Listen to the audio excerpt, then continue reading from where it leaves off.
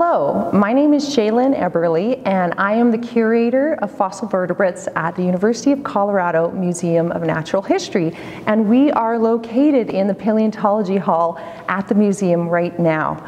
Um, I am also a professor in geological sciences here at CU Boulder. I work on fossil mammals and paleoclimate. And most of my research is in, uh, in the high Arctic region. I do a lot of work in the Canadian Arctic and in Alaska. So today I'm going to be talking to you a little bit about my research in the Arctic regions on fossil mammals. I, so as a fossil mammal person, what I work on are primarily their teeth. Um, teeth are your hardest part in your body, and your teeth are covered in enamel, which is basically a mineral. It's the mineral hydroxyapatite, so it's very hard, and it's the most likely part of you to become a fossil. And so that's what most of us who work on fossil mammals study. We, we study teeth. The other really important thing about teeth is that uh, for fossil mammals, they're very diagnostic, which means that if I were to go down to the Denver Zoo and crank open the mouth of a lion and peek in there, I could tell you that it's a lion just by looking at its teeth, and primarily its cheek teeth. So in this region right here, um, I would not need the rest of the body of the lion to tell you that it's a lion. Now I would say do not try this at home or at your local zoo. I do a lot of my fieldwork in the Canadian High Arctic, and uh, the island that I've worked on the most in the High Arctic is Ellesmere Island. Um, Ellesmere Island is right next to Greenland, and it's very far north, not that far from the North Pole. Um, I have been working up on Ellesmere Island for oh boy, I started in the late 1990s as a postdoc, but prior to that, my colleagues, Mary Dawson, Malcolm McKenna, and Mac West had been working up there in the 1970s and the 1980s. Um, and so the fossil vertebrates from the Canadian Arctic, um, particularly the, the mammals, and, and I work on Eocene mammals, they're about 50 to 55 million years old, um, those discoveries date back to the mid 1970s and that were made by Mary Dawson and, and Mac West. Um, and then I started my work up there in the, in the late 1990s as a postdoc, and then in the 2000s I started leading my own uh, expeditions up there. Um, I just want to point out too though, so, so fossil plants are, are fairly abundant in Eocene rocks in the Arctic. Um, and the fossil plant discoveries actually date back to the late 1800s. The 1880s is when um, some of the earliest fossil forests in the Arctic were, were first discovered. So fossil plants date back over 100 years, and um, whereas fossil mammals, Eocene mammals from the Arctic, are date back to the 1970s. So they're, they're really quite recent discoveries in, in the high Arctic. So a lot of folks don't realize this, but millions of years ago, so 50 to 55 million years ago in the early Eocene epoch, the Canadian Arctic and parts of Alaska were, were covered in forests. And these were dense forests of a tree um, that's been identified as, as, a redwood tree. Most of the trunks are. Um, we know this. How do we know the Arctic was covered in forests? Well, we find petrified tree stumps in the Arctic. Um, my favorite fossil forest is called the Strathcona Fjord fossil forest, and it has these beautiful petrified tree stumps, kind of orange in color, sticking out of this coal seam. And you look at it, and it's pretty convincing evidence that the Arctic was once covered in forests. A lot of people ask me, how do I get to our field localities in, in the Canadian high Arctic? And I think it's safe to say that um, the aircraft gets smaller as you go north. Uh, and then finally, we're left on foot. But essentially, I take a, a jet up to northern Canada. I then take a, um, a twin otter, which is a small airplane, twin meaning two engines. Um, I take that from an island called Cornwallis Island in the Canadian Arctic up to Ellesmere Island, and then we land at uh, a fossil, well actually we land at our campsite uh, on Ellesmere Island. And from there on, Basically, once the Twin Otter drops us on Ellesmere Island and we set up our camp, we are going pretty much everywhere on foot at that point. And, and we might go, oh boy, 10 to 15 miles a day where we're walking across the Arctic tundra looking for fossils. You can always tell a paleontologist because their eyes are pointed down to the ground. We could be in the most beautiful, pristine Arctic environment, picturesque, but we are always looking down, looking for fossils. Up to this point, and I would say this is largely based on discoveries over the last four plus decades, um, there have been 25 different kinds of fossil mammals from the Eocene rocks uh, on Ellesmere Island, and um, all sorts of interesting mammals. Among the large mammals, probably the most famous of the large mammals that are found in the high Arctic is Coryphodon. Um, you can think of Coryphodon as looking a bit like a pygmy hippo. He would have been about the size of a pygmy hippo, the shape, and we think the habit, that is, we think Coryphodon was a, a semi-aquatic mammal hanging out in the rivers in the Eocene Arctic. Coryphodon is one of my favorite mammals, and the reason is because Coryphodon is known from um, it's known from North America, mid latitudes like Colorado and Wyoming, and high latitudes in the Arctic. It's also known from Asia and from Europe. And so Coryphodon was one of these big mammals that would have been cruising around uh, the northern hemisphere, crossing these land bridges in the Arctic between, uh, first of all, between Asia and North America as well. So super interesting mammal. Um, there are other mammals in the Arctic. Uh, one that I worked on quite closely several years ago is an Arctic tapir. And um, the tapir was probably about the size of a medium-sized dog. And what's interesting about the tapir, like tapirs today, it had a trunk or a, what we would call a proboscis, a short trunk. Um, tapirs are interesting because if you think about tapirs today, besides the ones that you see in the zoo, um, tapirs naturally occur in, um, in tropical environments, tropical distribution. They can live in, into, in mountainous areas, but they're within tropical latitudes. Tapirs in the Arctic, um, people always ask me about those. Are you sure there's tapirs in the Arctic? They were actually quite abundant. They were second in terms of abundance next to Coryphodon, which is kind of cool. And then there's another big mammal that I always think about with regard to the Arctic um, that I also got to work on, and these are brontotheres. Now, behind me, on this side is a brontotherian skull. The Arctic brontotheres were smaller than the guy behind me. They were about the size of a sheep. But um, brontotheres you can think of as being like a cousin to a rhinoceros today. Brontotheres are completely extinct and throughout the Eocene epoch um, they started relatively small, kind of sheep-sized, and then towards the end of the Eocene, they got to the size of the guy behind me, which is about the size of a rhino. So they got bigger as they, they went along. And then they finally went extinct um, at the Eocene and Oligocene boundary, which is about 34 million years ago. Addition to the larger mammals, there are lots of tiny mammals in the Arctic as well. We have um, rodents have been found. We have squirrel-sized carnivores that would have probably been hanging out in these trees.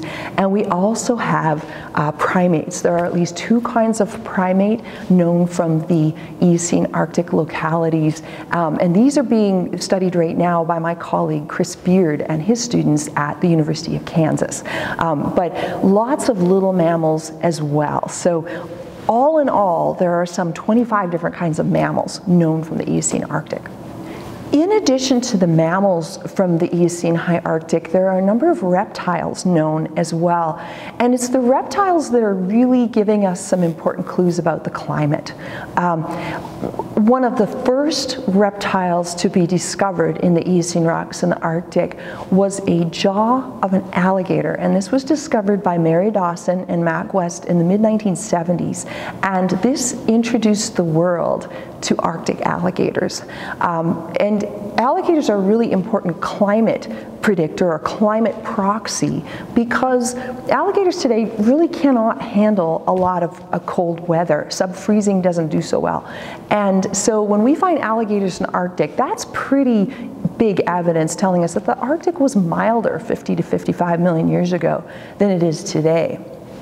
Now, we also find fossils of turtles in the Arctic. I think there are now nine different families of turtles known from the Eocene Arctic. We have pond turtles, we have softshell turtles, uh, we also have um, giant tortoises. And what they're known from are pieces of their shells.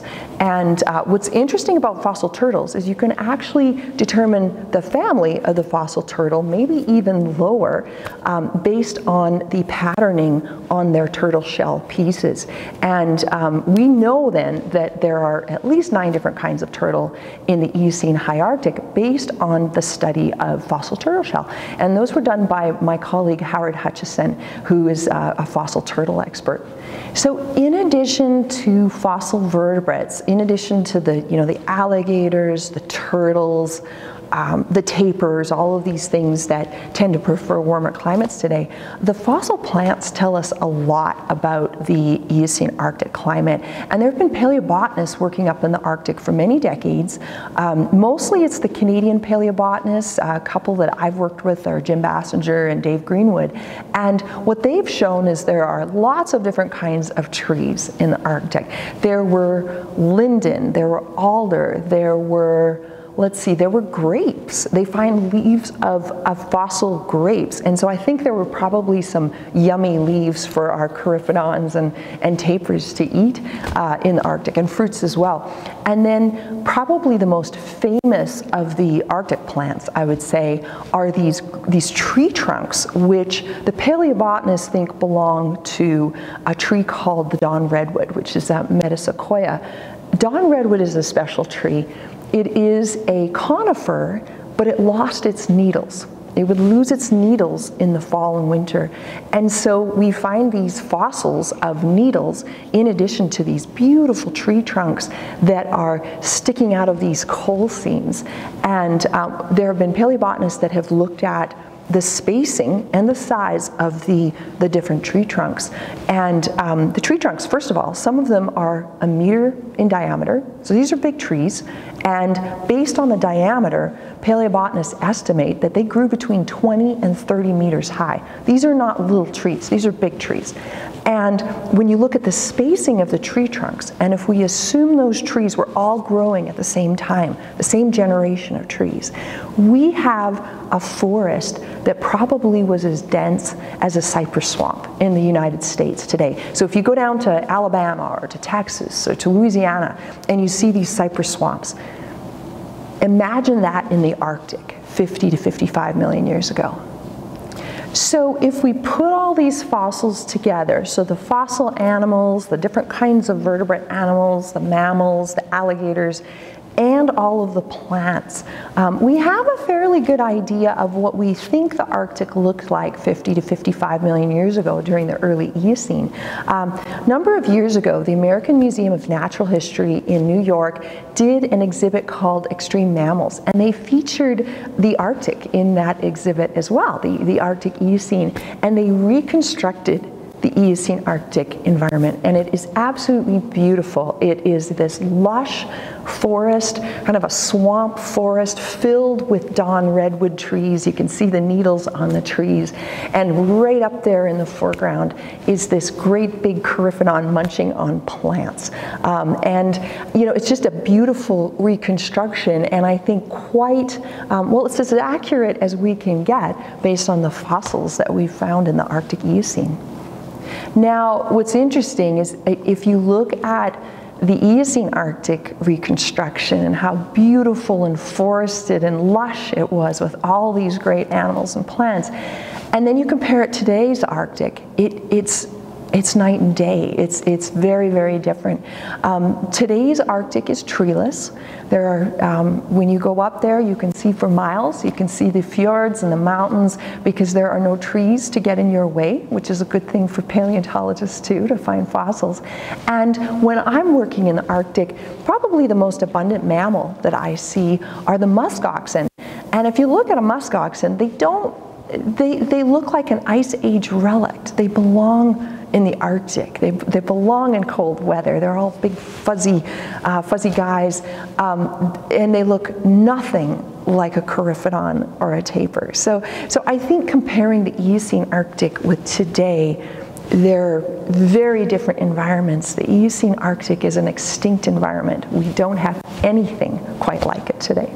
So I've been working in the Canadian Arctic now for since the late 1990s when I was a postdoc, and um, more recently, in the last few years, I've switched gears. I am still working in the Arctic, but I've started collaborating with colleagues from the University of Alaska in Fairbanks, and we're working on the North Slope of Alaska.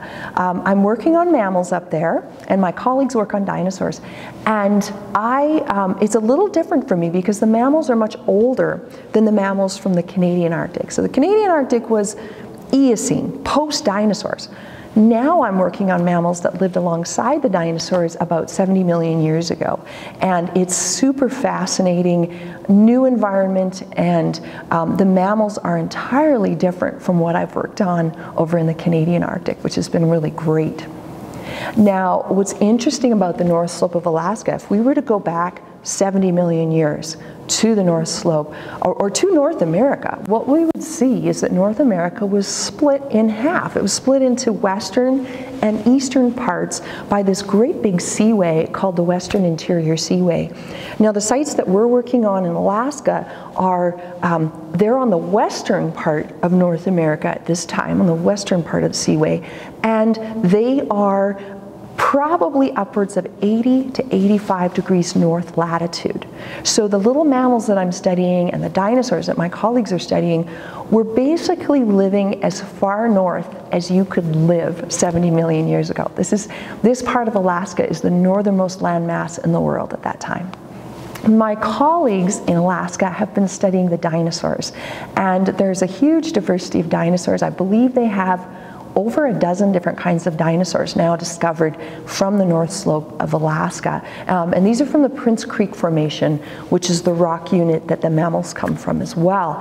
And um, there's everything from hadrosaurs, which are the duck-billed dinosaurs, to tyrannosaurs, to all sorts of dinosaurs in between. So it's a really interesting and diverse dinosaur fauna that's known uh, from the North Slope. The mammals are rarer fossils and just not nearly as well known yet. Um, part of the reason they're not so well known um, is because the mammal teeth are tiny. We, we also have super tiny uh, dinosaur teeth from Alaska. And in order to find those, what we do is we literally bucket up. We take big buckets of sediment from the Prince Creek Formation, which is along the Colville River in northern Alaska, and we bring these buckets back and we screen wash them using river water in the field. We then haul all those sediments back to the labs and we sort through all those sediments in search of tiny teeth, uh, both dinosaurs and mammals. There have been lots of dinosaur teeth found in this manner, and what's really exciting is a lot of those dinosaur teeth probably belong to baby dinosaurs. So we know there were baby dinosaurs living on the North Slope of Alaska about 70 million years ago during what's called the late Cretaceous period. Um, and most of those teeth, as I said, came from lots of screen washing and work in the lab of sorting that sediment under a microscope. In terms of mammals, the, the mammal fossils are much rarer than the dinosaurs uh, on the North Slope of Alaska. Um, but we're starting to really make some interesting discoveries on them. Um, first of all, they are tiny, and so a single tooth of a mammal from uh, the North Slope of Alaska might be a millimeter long by a millimeter and a half wide. I mean, these are tiny, so you can see why we can't really find them in the field prospecting like we normally would. Um, but they're tiny, and probably the best known right now of the mammals from Alaska is a tiny metatherian. And what a metatherian is, is it's a cousin to today's marsupial mammals. I think when most people think of marsupials, they think of Australia, kangaroos and things like that. But we have a marsupial living in North America. It's the Virginia opossum. And if we could jump back to Alaska 70 million years ago, what we had for a metatherian mammal there would have been a tiny opossum. Uh, and when we look at the size of the teeth, they're so tiny, we can make estimates of the body mass. And basically, the mammals, the little tiny possums that were living in Alaska 70 million years ago, were about the size of a house mouse. So very tiny, probably living amongst the feet or the understory, certainly, of the dinosaurs, and really weren't a big component of that fauna. So in addition to the tiny possum-like mammals that are known from the North Slope, we also find the teeth of this strange mammal called a multituberculate. And I have a model of a multituberculate jaw here with me today. And the teeth that we have found on the North Slope are a lot like this one I'm pointing to here. It's kind of a strange blade-like teeth, tooth, and we think that it was probably used for slicing and dicing through insect cuticle. Now, on the North Slope, the multituberculates are not this big. This is a very large model of a jaw of a multi, but the teeth that we find on the North Slope are just a few millimeters in length, and so they're a much smaller mammal than, uh, than what I'm showing here. But that tooth is such a distinctive tooth for a multituberculate that we knew right away when we found one, that's what we had.